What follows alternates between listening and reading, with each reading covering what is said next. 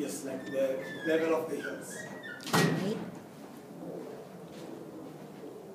Interesting.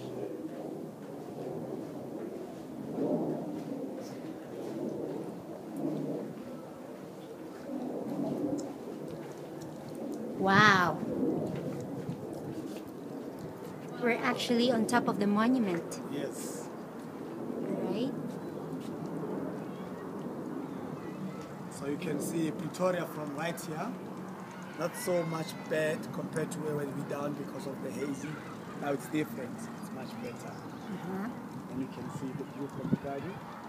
And those hills over there, the last hills, starting from that side, go all the way, the last mountains, all the way is going to Pilanesberg. Tomorrow we go in that side, it's northwest. But when it comes back, that's Pretoria East. And where the smoke is, before the hills, those are the small townships of Pretoria. Every Saturdays, Sundays, they've got horse riding here. During June, uh, December 16, that's a gathering space over there. The speech come from that side. They play the music to remember those who died during the Battle of the Blood.